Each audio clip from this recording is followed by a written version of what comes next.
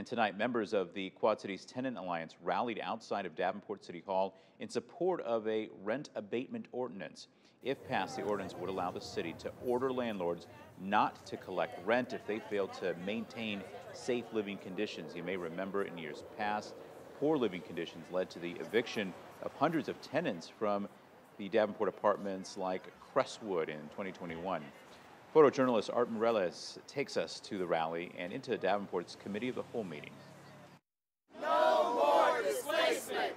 Pass rent abatement! Pass rent abatement! I knew that moving under any circumstances would be financially devastating. When I moved back here, uh, I learned that that's pretty much what everybody is facing in the Quad Cities, especially in Davenport. We have a problem with some landlords um, refusing to take care of their buildings. And it's created a lot of situations where city inspectors have had to order vacate orders.